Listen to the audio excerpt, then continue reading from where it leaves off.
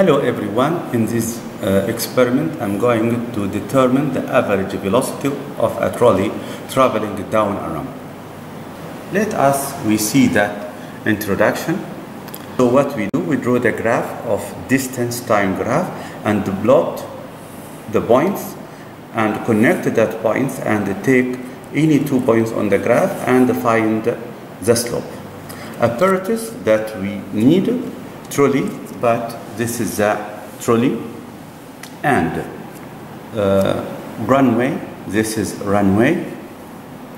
Two light gates, but we don't have light gates, so we use stopwatch. Let us, we start. We started to put the trolley at 10 centimeter. Here we adjust it at 10 centimeter. And then after 10 centimeter, it means at 20 centimeter, we put that mass. So that mass at 20 centimeter, it means the distance between the trolley and that mass is just 10 centimeter.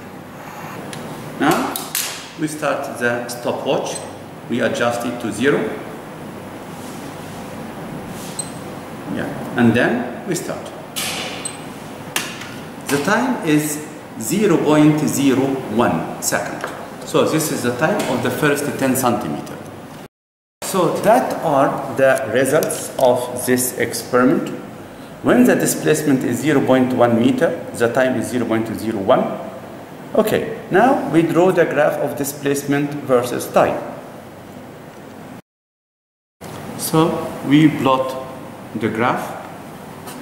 On y-axis is the displacement in meter and on x-axis it is the time in second. Because that time is very small time, so we can multiply by 100. So it becomes here 1, 1.6 and so on.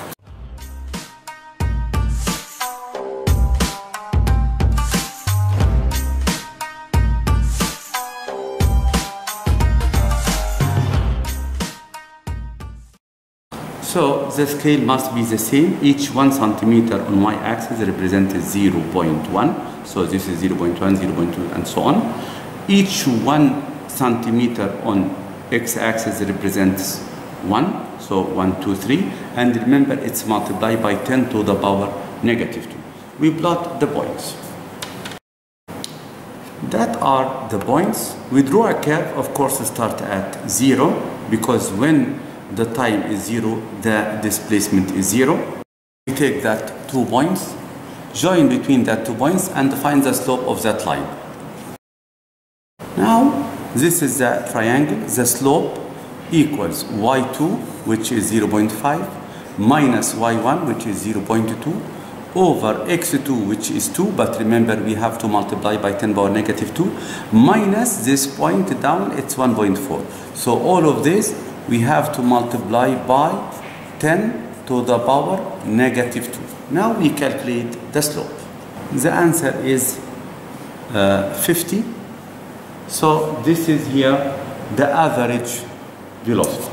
Average velocity, it's 50 meter per second. I hope you understand this experiment. Thank you.